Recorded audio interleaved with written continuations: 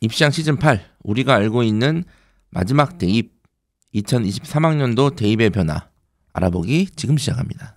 펜타킬입니다. 안녕하세요 한희쌤입니다. 안녕하세요 홍프로입니다. 자 어, 오늘이 지금 10월 15일이고 정확하게 수능 한 달 전. 예. 뭐 하셨습니까 수능 한 달 전에? 저 때요 예. 현실 부정을 했죠. 무슨 무슨 연실부터. 진짜 한 달뒤 수능 보나? 에이. 그러니까 현실 감각이 없어가지고 고통 속에 몸부림치면서 하루는 행복해로, 네. 하루는 절망해로 그렇게 보냈던 것 같아요. 지금도 현실 감각이 없잖아요. 제가 지금 방금 전에 읽어 한스 보셨겠지만 방금 전에 읽다 온 책이 있잖아요. 아 예 지금 책을 읽더라고. 네. 어, 그- 책 제목이 죽음이란 무엇인가. 예. 뭐 철학책인가요? 예, 그 예일 대학교에서 제일 인기 있는 강의인데 아니 그뭐 장례식장 가격 이런 거 나와 있는 책이 뭐. 아니요, 그 죽음이란 무엇인가에 대해서 논리와 이성으로 접근하는 책입니다. 음. 쓸데없는 책인 것 같아요. 네. 죄송합니다. 그만큼 고통스럽다. 네. 그만큼 현실 인식을 못하고 죽음이란 무엇인가를 읽고 계시는 홍프로님이셨고요. 아, 펜타케 선생님은 수능 한 달 전 기억납니까?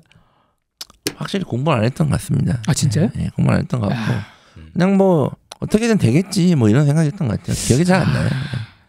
특히 한결 같습니다. 네. 펜타케 선생님은 항상 어떻게든 되겠지. 예, 저 자세. 사실 제가 학생들 가르치고 있잖아요. 지금 보면은 되게 많은 아이들이 될 대로 되라. 음, 이미 여기까지 왔는데 내가 한 달 노력한다고 뭐 달라지겠냐. 그냥 안 할 수 없으니까 네. 그냥 한다. 이런 어, 마인드로 있는 친구들 좀 많이 있는 것 같아요. 그렇게 되는 것 같아요. 음. 심리가. 근데 뭐 한 달 전이니까 사실 뭐 많이 바뀔 건 없잖아요. 그 이제 그런 마인드로 접근하는 거죠. 네, 많이 바뀔 건 없고 이쯤 됐으면 이제 아, 하나님의 뜻이죠. 기도하나요? 예, 3번이냐 4번이냐 둘 중 하나다. 저는 현역 때는 진짜 기도 많이 했죠. 이제 제가 원래 목사님이 아, 신학교 그렇지, 그렇지. 가는 게 꿈이었으니까 그때는 이제 진짜 기도를 많이 했죠. 음. 근데 진심이었어요 그때 당시에. 진심이었어요 그때. 아, 그래요? 진짜 진심이었어요. 알겠습니다. 근데 그분이 오지 말라고 하시더라고요. 너는 아니다.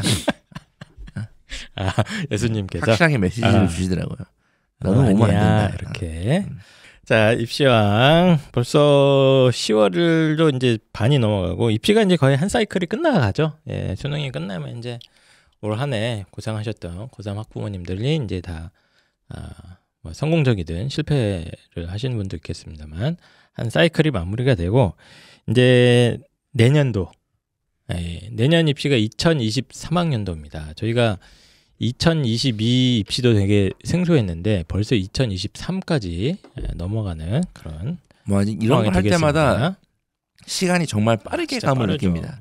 제가 아주 예전에 2021학년도 막 예측하고 신내림 예측 막 이런 거 했던 때가 그렇게 오래된 것 같지 않은데. 옛날이죠. 예. 예. 저희 방송에서 예, 근데 지금 예. 올해가 2021년이잖아요, 벌써. 그리고 어째 시간이 많이 빨리 가는 것 같아요. 예. 예, 굉장히 빨리 가고 있고 2023학년도 입시를 저희가 원래 방송을 어, 평소 같았으면은 이, 4월쯤에 합니다. 네네. 예, 작년에 방송 찾아보시면은 저희가 보통 이제 예, 그 다음 해 입시가 그 전년도 4월쯤에 이제 계획이 확정이 되지 않습니까?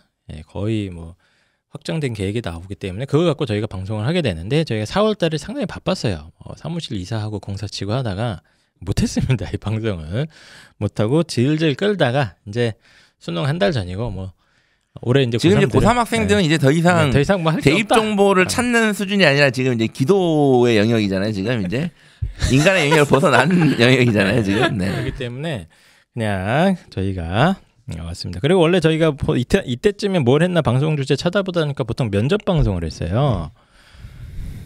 저희 다 찍었습니다. 면접을 거의 7년째 했어요. 저희 면접 방송을. 찾아보시면 아, 찾아보시거나. 네, 뭐 제가. 요 면접 방송 링크를 네이버 카페에 올릴게요. 네. 예, 정리를 해서 옛날 거 찾기가 힘들거든요.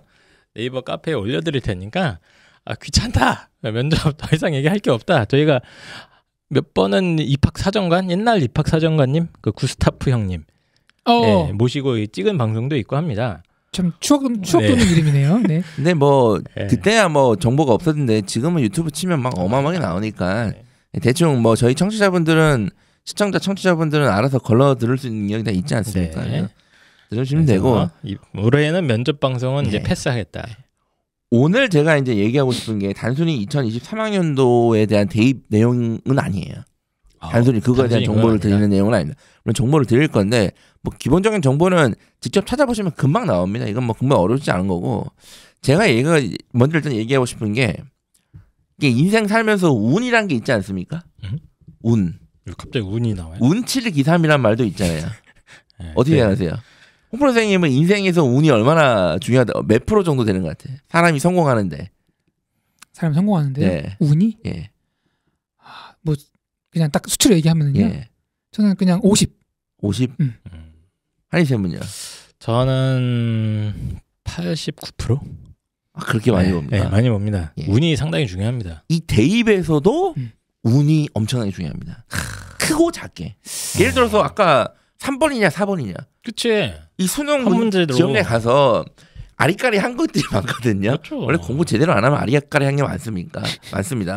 아, 야 이거 이거 가난가 가나단가 이거 맨날 헷갈리잖아요. 그죠? 네. 근데 그때 찍었을 때 맞춰서 상위권 학생들은 진짜로 의대 가고 못 가고 합니다. 네. 이제 찍어서 맞춰서. 물론 뭐 어느 분야든지 그렇게 1, 2%의 운으로 갈리는 사람도 있죠. 예. 그렇죠. 예. 그러니까 이제 수능에서도 운이 작용하고 작게도 운이 작용하고 네. 크게도 작용합니다. 이 크, 크게 작용하는 게 뭐냐면 대입 전형이에요. 그러니까 내가 수험생일 때 음흠. 그해 대입 전형 대학들이 어떻게 선발하느냐도 엄청난 운입니다. 그렇죠. 예. 사실상. 갑자기 내가 영어에 자신이 없는데 갑자기 영어 절대 평가를 바뀌면서 그렇죠. 대박 나는 경우도 있고 예, 네. 실제로 저, 저희도 몇 번 보지 않았습니까? 예. 예. 그 제가 영어- 예전에 몇 번 방송에서 얘기한 적이 있는데 그 어학 특기자라는 게 있었거든요. 옛날에 어학 특기자 지금도 뭐 아, 지금도 있죠. 있는데 네.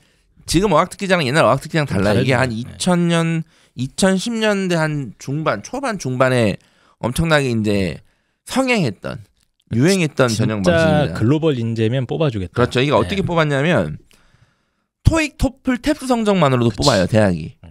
근데 이 토익, 토플, 탭스 성적만으로 뽑는 대학이 당시 기준으로도 서강대, 음. 한양대, 중앙대, 자 웬만한 인서울 대학은 다 그걸로 뽑습니다. 그러니까 음. 내신도 안 묻고 인성도 안 묻고 아무것도 안 물어요. 그냥 오직 공인어학 성적만으로도 뽑았어요. 물론 이게 Can 제가- you speak English? 그렇죠. 여기 뽑는 거죠. 이게 제가 알기로는 2000년대 제, 저 때도 있었어요. 저희 반에도 토익 성적으로 대학 간 애가 있었어요. 그러니까 저희 때도 있었는데 2010년대 초반 중반까지가 이제 거의 피크였다고 좀 보거든요. 네. 초반이 피크였다고 보는데 그때 제가 말씀드렸잖아요. 평생 공부 안 하다가 음. 공부만 안 한 정도가 아니라 그냥 애들 괴롭히고 다니고 흔히 말하는 양아치짓 하다가 제가 상담 받으러 왔을 때 머리가 온통 노래 노랬다고 아 말씀드렸잖아요. 노란 게 뭐가 양아치입니까? 저 초사연인 줄 알았다니까요. 전. 이게 여학생이 어 어막그 수도 있죠. 그, 여- 그 학생이 학원 다닐 때도 문제를 많이 일으켰어요. 어. 남자 친구 데리고 와가지고 막 깽판지고 그랬는데 자 어쨌든 네. 그 친구가 1년 딱 공부해가지고 어. 토익만 공부합니다. 네. 토익만 공부해가지고 이제 국민대학교 했거든요. 음. 근데 그렇게 대학 선발한 게 그 애가 마지막이었어요. 음. 그런 식의 어학 토익 뭐야 공인 어학 성적만으로 선발하는 어학 특기자는 그 해가 마지막이었어요. 걔는 그 해가 아니라 고2였잖아요. 걔는 대학을 못 갔어요. 그치. 네. 그래서 대입 제도 전형 변화가 여러 가지로 이렇게 유불리를 많이 어, 겪게 되는 거고 최근에도 이제 블라인드 평가가 도입이 그렇죠. 되면서 어머님들 중에 어떤 분들은 이제 피해를 봤다고 생각하시는 분들도 있을 거고 또 그렇죠. 분들은 또 오히려 나는 오 나 못 갈 줄 알았는데 됐네. 그렇습니다. 예. 제 동네에 아는 삼촌 뻘 형이 있는데 졸업할 당시에 IMF가 터졌, 터졌어요. 네. 그분은 지금도 그 얘기만 해요. 왜요?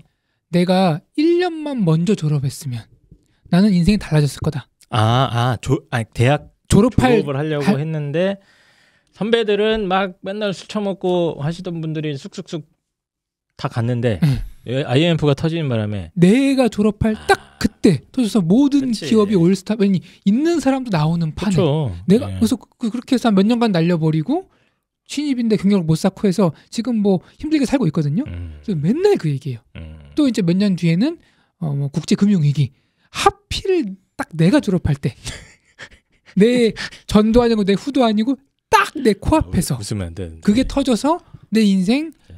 망했다. 이건 내 잘못이 아니다. 이런 분들이 사실 그쵸. 우리 주변에 속속속들이 있습니다. 저는 근데 제가 뭐 운이 있다고 말씀드리지만 저는 실패하는 데는 그런 식으로 운을 작용하고 싶진 않아요. 사람이 실패하는 데는 실패는 본인 역량이고요. 음. 성공은 운도 필요합니다. 이게 제 지론이거든요. 네. 예, 근데 어쨌든 그 데이비 방금 블라인드 얘기하셨잖아요. 네. 블라인드도 진짜 대박 난 친구도 있고 쪽박 난 친구도 있고 물론 뭐 생각하기 나름이고 그리고 솔직히 수능도 그래요. 만약에 이제 정시 파이터라고 하죠. 수능으로 해결하겠다는 애들이 2, 3년 전만 하더라도 완전 암울했죠. 그쵸. 그런데 네. 올해 고3 내년 고2 아니 내년 고3 그 올해 고2죠. 얘네들은 또 다른 세상이에요. 그러니까 올해 고3 학생들은 정시 할 만 하거든요. 충분히. 그러니까 이 모든 게 대입에서도 운이 많이 작용합니다. 아니 씨 대입에서도 운이 작용하는 게 말이 되냐? 근데 세상 이치가 그래요. 사실상. 그래서 그래서 오늘은 예. 전형에 대해서 한번 한번 내년 고2 학생들은 내가 운이 좋은가 운이 나쁜 건가를 좀 그런 맥락으로 좀 분석을 해보면 어떨까 네, 알겠습니다. 그래서 저희가 길게 앞에 아, 이런 건 이제 야부리라고 하지 않습니까? 네. 예, 외래어로 야부리를 또 털었는데 그런 또 예, 네, 고급스러운 용어를 아, 네. 전형이 매년 매년 조금씩 바뀌는 부분들이 있어서 그거를 갖다가 전체적으로 한번 점검을 해보려고 하는데 저희가 사실 대학별로 총정리를 한번 하려고 하는데 이게 너무 많아갖고 이거 뭐 다음에로 미뤄질 수도 있을 것 같아요. 예, 저희가 지금 예. 연구소에서 자료를 다 준비를 하고 있습니다. 예, 저희가. 참- 참고로 저희가 입시 연구소가 있습니다. 예. 예, 입시 연구소 오시는 분들도 계신데 저희가 어, 입시 연구소가 만들었어요. 있어요. 거기서 이제 저희가 개그를 해야 되기 때문에 개그 자료를 잘 만들고 계시거든요. 어저께 만든 네. 입시 연구소. 아까도 잠깐 제가 회의하는 걸 들었는데 어떻게 하면 웃길까? 네. 이렇게 하는 거 이렇게 하는 게 더 재밌지 않겠느냐 뭐 이런 회의를 하더라고요. 예. 이제 아시면 아시겠지만 이제 깜짝 놀랄 거예요. 저희 방송에 할 때 그 주제는 안 웃겨 웃길 수가 없어 하지 마. 네. 근데 그게 대입에서 되게 필요한 주제야. 그거 안 해요. 안 못 웃길 것 같으면 안 합니다. 그냥. 그래서 네. 제가 면접 하자니까 끝까지 안 하더라고요 네. 펜타킬이. 왜냐하면 우리가 오래 했기 때문에 더 이상 난 웃길 자신이 없다. 아, 그걸로. 알겠습니다. 그래서 2023학년도 우리 운은 어디까지인가를 테스트해 볼 수 있도록 어, 내년에 입학 전형을 전체적으로 한번 큰 틀에서 분석을 한번 해보도록 하겠습니다. 그 방송 이제 유튜브 요즘 워낙 입시 전문가들이 많이 있으니까 이제 유튜브 방송을 보면 2025학년도 대입 뭐 이런 거 설명하시는 분 되게 많거든요. 한번 쳐보세요 유튜브에. 2025학년도요? 진짜 유튜브에 한번 쳐보세요. 2025 대입이 막 엄청 많아요. 아, 이 정도는 허경 아니면 예측하기 힘들 것 같은데? 아니 뭐 있어야 예측을 하지. 쳐보자. 와, 있네. 한번. 아니 그러면은 2022, 2020 지금 엄청 많죠. 내려보세요 한번. 쭉쭉. 이 정도면 작도 아닌가요? 이게 어 물론 저희도 예전에 방송 초창기에는 뭐 2, 3년 후 예측도 하고 그랬어요. 음. 그런데 이제 들어보시면 아시겠지만 저희가 예측할 때는 그래도 최소한의 근거 자료는 있습니다. 유, 유튜브에서 2025 검색하니까 예. 펜타킬 얼굴이 나오는데 그래요? 너도 했네. 나는 안 했어. 아니구나. 아니 아닙니다. 아 네. 그래요? 나는 이제 다른 거 한 거야. 네. 난 그냥 요즘에 대입 키워드 관련 검색하면 제가 항상 나오더라고요 유튜브에. 음. 예. 축하드립니다. 입시양이 나오는 건 아니고 뭐 딴 데서 하는 게 나오더라고요. 자 그래서 어쨌든 간에 그러니까 이제 2025학년도 내용을 제가 들어봤어요. 네, 네. 혹시 모르는 게 있나 내가. 어. 예. 근데 2025학년도 대입 같은 거 설명 들어보면 2025 대입 얘기는 안 합니다. 뭐예요 그러면? 뭐 아는 게 없으니까 발표된 게 없는데 어떻게 해요? 없잖아요. 예, 그냥 지금 최근 대입 얘기하는 거예요, 그냥. 그냥 이게 아 제목 장사구나. 제목 장사하는 게 어구로 이제 예비 2025면 몇 학년이 지금? 예비 중3인가? 예비. 예비 고1인가? 그 정도 돼요. 그 정도 돼요. 지금 하여튼 뭐 계산해봐야 되는데 뭐 어쨌든 중학생이잖아요, 그죠? 얘네들을 이제 설명이 나는 어그로 끌어야 되니까 이제 뭐 그렇게 하는 건데 내용은 이제 뭐 뻔한 얘기예요. 음. 뭐 솔직히 뭐 한양대 입학 결과 막 알려주는데 아니 2020 중학생들한테 그거 알려줘서 뭐 합니까? 알상. 네.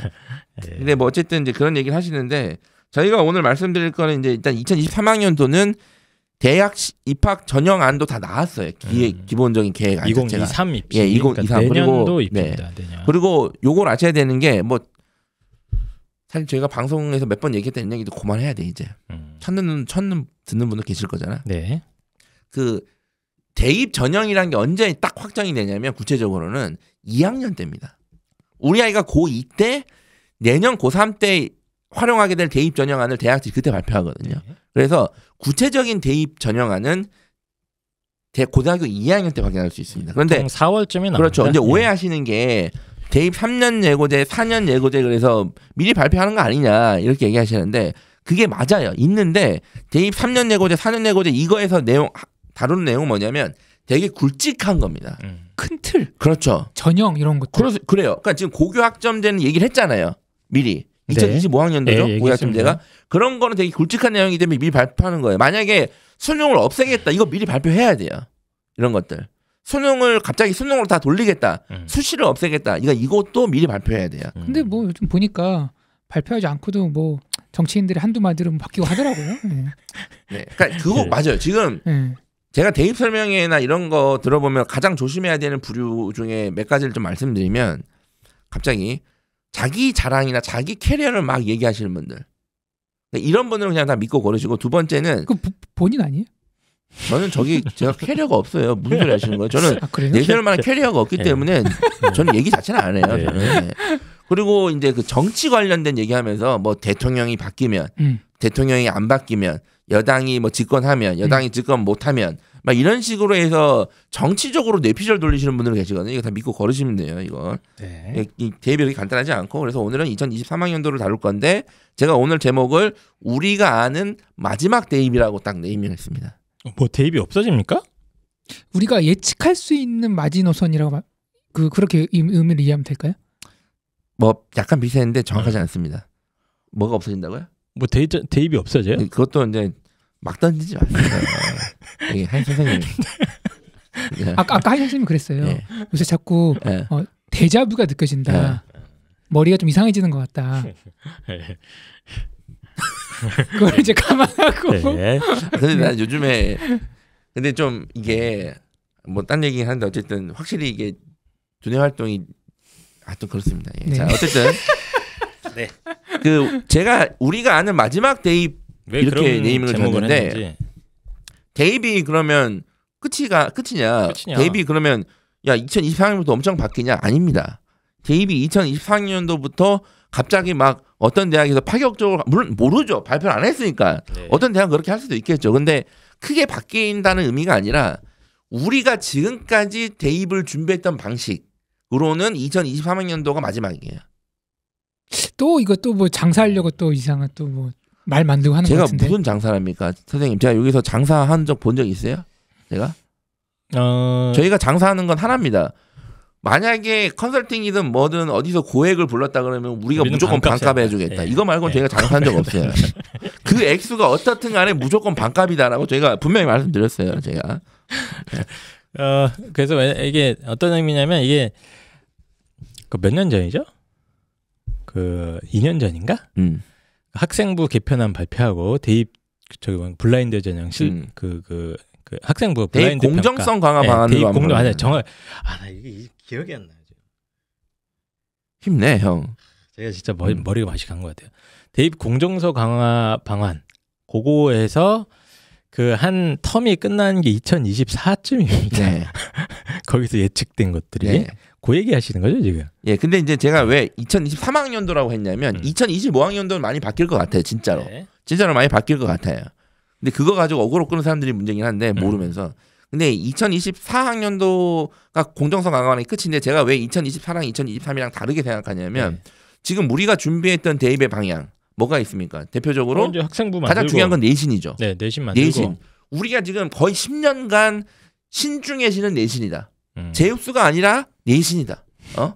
네. 신중의 신은 내신이다. 이렇게 말씀드렸잖아요. 그리고 내신 관리, 비교과 관리에서 어떻게든 수시로 끝을 내자. 끝을 낸다. 그리고 수능 가서는 이건 패자부활전인데 망한다.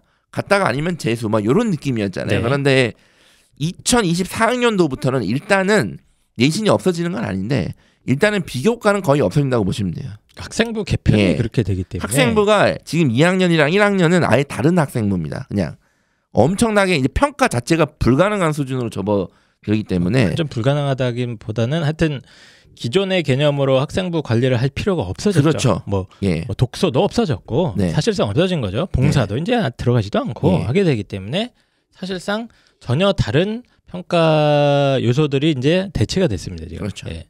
그리고 이제 수능도 그래요. 수능도 지금 저희가 수능을 한 몇 년 전부터 계속 강조하고 있어요. 저희가 저희 방송 7년 쭉 들어보시는 분이 있을지 모르겠으나 네. 그러면 안 되죠.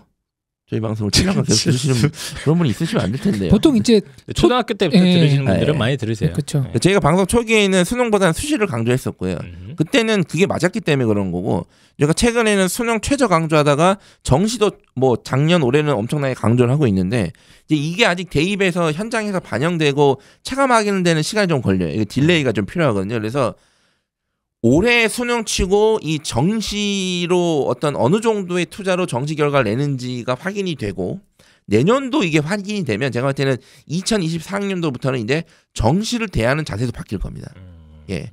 그래서 2024학년도의 대입 이제 내년까지의 대입이. 수시, 네. 내신, 비교과 안 되면 으, 정시 음. 이런 느낌으로 가는 게 내년까지가 저는 마지막일 거라고 봐요. 음, 그래서 2024학년도에 일단 기본적으로 그러니까 내후년 입시입니다. 내후년 입시 현재 고1은 학생부가 바뀌고 정시를 대하는 자세도 좀 달라질 그렇죠. 것이고 예, 이런 부분들 때문에 어, 뭐 클래식한 학생부 종합 중심의 기존의 입시가 이제 내년이 거의 마지막이다. 클래식한 학생부 종합이란 말도 되게 어감이. 원래 학생부 종합 전형이라는 게 되게 파격적이고 미래지향적인 대입 전형이었잖아요. 근데 예. 지금 벌써 클래식 형태. 예, 클래식한 형태의 그래서 뭐 어?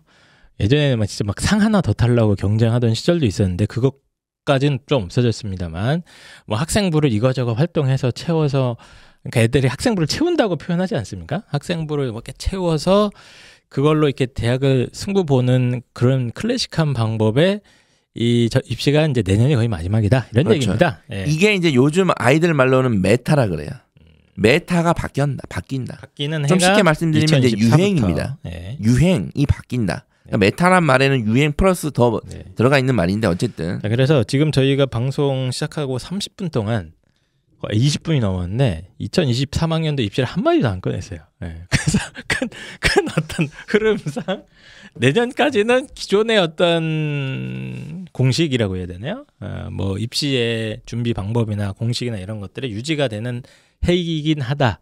요 정도 얘기를 하시는 것 제가 같습니다. 2023학년도 구체적인 얘기를 안 하는 게 네. 일단 크게 바뀐 게 없어서 그렇습니다.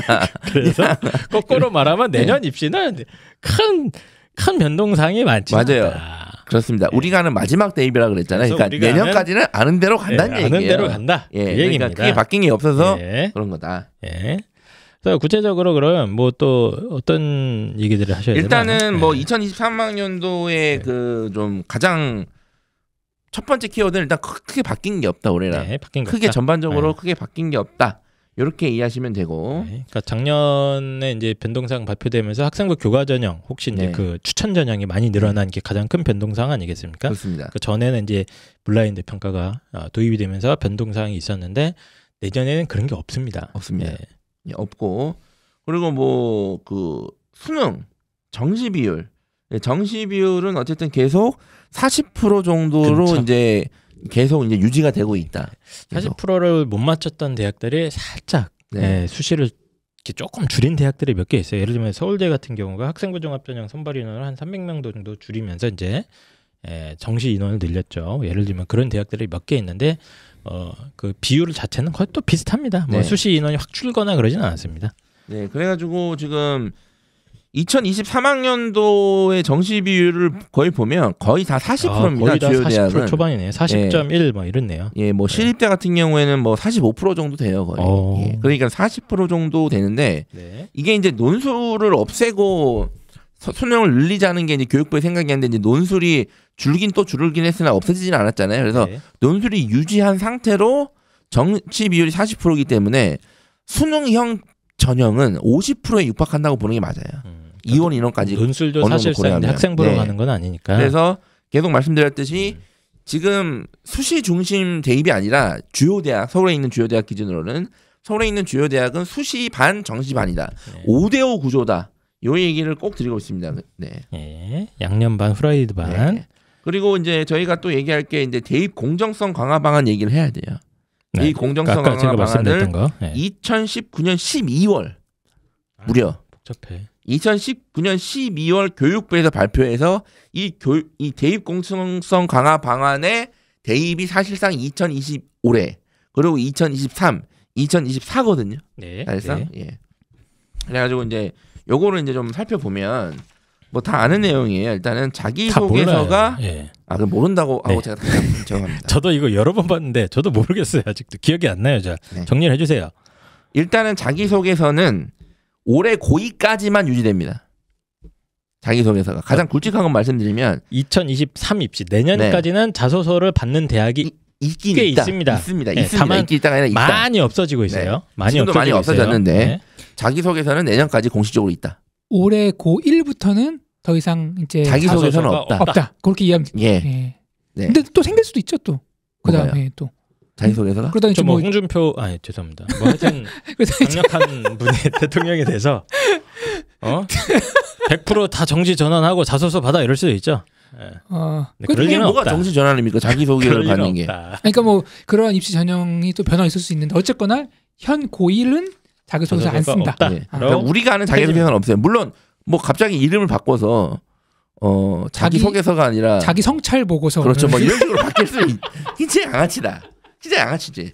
아니 몇몇 과에서 예, 근데 그런 거 있잖아요. 자율 전공 학부 이런 거 받을 만해요. 근데 예. 지금 저희가 양아치라 그랬잖아요. 자기 소개서를 폐지하고 자기 성찰 보고서로 바꿔 이게 양아치 짓이잖아요. 근데 설마 그렇게 했는데 수도 이런. 적이 있어요 교육부에서. 아, 그래요? 음. 대표적으로 입학 사정관제를 없애겠다 해놓고 학생부 종합전형으로 이걸 바꿨잖아요. 예, 예, 근데 어쨌든 자소서는 1학년부터 지금 현재 1학년은 없어진다. 네, 없어집니다. 지금 2학년은 있긴 있다. 이 자기소개서가 없어진다는 거는 대학도 더 동의를 한 거거든요. 음. 심지어 없는데 그 전에 선제적으로 없는 대학도 있고. 네. 그러니까 이게 단순히 자기소개서 폐지가 의미하는 게 자기소개서만 없어지는 게 아니라 대학들이 자기소개서나 넓게 보면 비교과에 대해서 어떻게 생각하는지를 알 수 있는 부분입니다. 이게. 네. 예.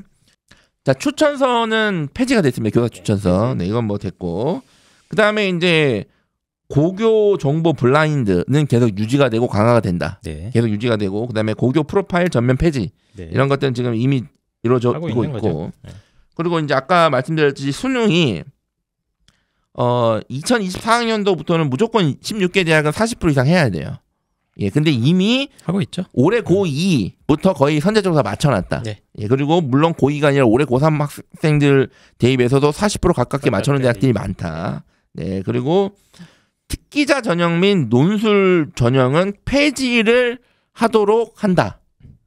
네, 발표한 게 그때 네, 2019년 그때 12월에 당시에. 발표한 게 네. 일단 여기서 특기자 전형은 없어졌습니다. 거의 다. 네. 실제로 특기자 전형은 거의 없어졌어요. 저희가 아까 말씀드렸던 뭐 어학 특기자 토익 점수 가지고 뭐 국민대 가고 뭐 중앙대 가고 이런 건 다 없어졌어요. 없어졌고. 옛날 중앙대 토익으로 갈 수 있었나? 예전에 네. 그 토익을 받는 학교가 있고 안. 받는 학교 거의 근데 그렇게 가는 친구들은 만점 가까이 나와야 돼요. 맞아요. 점수가. 그러니까 제가 그게 알기로는 제 기억으로는 그때 국민대 정도 기준으로 토익이 900점 이상. 한 그렇거든요. 가는 친구들은 950 넘어가고 막 그랬어요. 네, 그래서 그래서 이제 그게 그것도 쉬운 게 아니에요. 쉬운 건 아닌데 네, 네. 그래도 수능하는 것보단 쉽다. 수능보다 낫다. 수능보단 낫다. 그것도 나름 뭐 예, 고충이 네. 있습니다. 예. 예. 자, 그래서 어쨌든 수능은 이제 뭐 아까 특기자 전형이죠. 특기자는 거의 없어졌고 논술은 지금 논술은 일단 대학들이 최선을 다해서 버티고 있습니다. 예, 저는 끝까지 안, 버- 안 없애고 이거 있는. 좀 강력하게 해서 전 논술을 없애야 된다고 보거든요. 아니. 왜 지금 이 사람은 장사하는데 이 사람아 무슨 무슨 장사예요? 아니 네. 약대 어. 약대 논술하면은 한 방에 3억이라니까. 진짜? 네, 경쟁률 10명 뽑는데 3천 명씩 지원합니다 지금. 와. 6천 명 지원했나요? 아 이게 주변에 이제 논술학원 원장님들이 있잖아요. 논술 학원의 입장에서가 아니라 대학 입장에서 아 대학 이- 입장에서는 아. 이게 현금 보따리입니다. 논술 전형료가 대충 얼마 될까요? 제가 한 10억 제가 될까? 오- 논술 5억에서 전형요? 10억? 제가 계산했을 때 뭐 꽤. 됩니다. 하여튼 꽤 됩니다. 옛날에 한번 계산해 본 적 있었는데 이게 네, 전체 그 입학처 수익의 상당 부분입니다. 이게 무시할 수 없는 숫자예요. 그렇죠. 네. 그러니까 이게 논술이 워낙 많아서 그 인원을 줄여도 어쨌든 지원자는 풀이. 고정이 돼 있기 때문에 네. 똑같거든요. 그래서 저는 이게 이제 이것도 문제고 대학들이 살 장사 느낌도 있고 네. 근데 저희가 제가 논술을 없애야 된다고 주장하는 이유는 대입이 뭐 완벽하게 공정할 수는 없습니다. 근데 이 논술은 제일 불공정한 전형이에요. 에이, 예. 뭐 뭐가 불공정합니까? 뭐가 불공정하냐? 아니 열심히 논술 공부해서 다 같이 네. 경쟁해서 하는 거 아닙니까? 경상북도 봉화군에서 논술로 대학 갈 수 있습니까? 요즘 다 인터넷 되어 있다 아닙니까? 그러면 인터넷 인터넷만 강의. 하면 갈 수 있어요?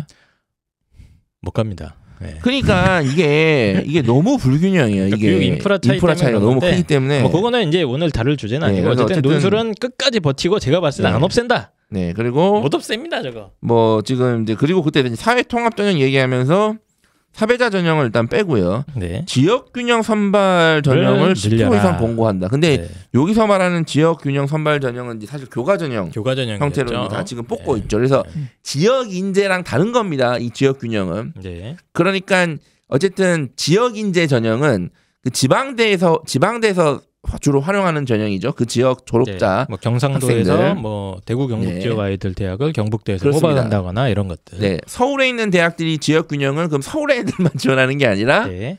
지역. 균형은 이제 말 그대로 지방 학생들 그리고 평범한 일반고 학생들에게 조금 더 골고루 입학 기회를 제공하도록 할 수 있는 전형을 만들어라는 얘기예요. 네. 그게 교과 전형이죠. 그래서 네. 실제로 지금 저희가 올해 방송에도 그렇지만 연세대부터 모든 대학들이 지금 다 교과 다 전형을. 운영하고 예. 있습니다. 예. 그래서 이제 이런 식으로 바뀌었는데 바뀐 게 지금 이런 식으로 바- 발표한 대입이 틀이 올해 고3이랑 내년 내년이? 고2인 거예요. 내년 고3. 그러니까 예. 올해 고2인 거예요. 그러니까 이게 지금. 한한께 묶여 있습니다. 네. 예. 그래서 일단은 이 큰 그림 대입 공정성 강화 강화 방안이 낳은 대입 전형 예, 큰 올해 그림. 고3 네. 올해 고2 얘네들은 크게는 묶여 있다. 크게 바뀐 건 자, 없다.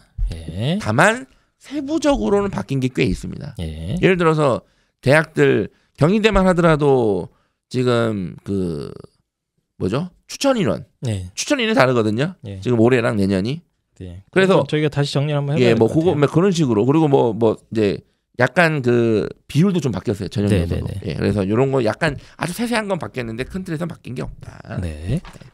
그렇게 이해하시면 됩니다. 예, 그래서 어, 펜타기 선생님께서 이제 큰 틀에 있어서 어, 자, 어쨌든 결론은 올해랑 내년 큰 변화는 없는데 또 세부적으로 좀 바뀌는 것들 정도만 어, 체크하면 될 것 같다 이런 것들이고 현재 고1은 사실 약간 아, 암흑까지는 아닌데 조금 다른 판이 확실히 펼쳐지는 건 맞습니다. 2024부터는 예. 그리고 2025 뭐 고교 학점제가 들어와서 이제 몇 가지 이제 변화를 일으킬 요소들이 좀 있지 않습니까? 네. 물론 물론 예. 고교학점제 그때 시행이잖아요. 전면 예, 시행이니까 그게 대입에 또 반영이 되기 때문에 몇 년이 걸리긴 네. 하겠죠 사실상. 네. 아, 저는 근데 개인적으로 고교 학점제라는 게 어, 저는 당분간은 약간 유명 유명무실하게 운영이 될 것 같은 느낌이 좀 지금도 있어서 유명 무실하잖아요. 지금 2015 개정 교육 과정도 사실 고교학점제를 위한 저는 그거였는데. 어머님들이 긴장하시거나 이럴 필요까지는 없다고는 보지만 하여튼 2024부터 좀 다른 판이 펼쳐진다. 이런 말씀 정리를 한번 해보고요. 어, 저희가 대학별로 몇 개, 다 짚을 수는 없고, 저희가 연구소에서 아직 다 정리를 안 했고, 어, 몇 개 대학들, 특히 이제 눈에 띄는 것만 몇 개 집어서 한번 살펴보도록 하겠습니다. 일단은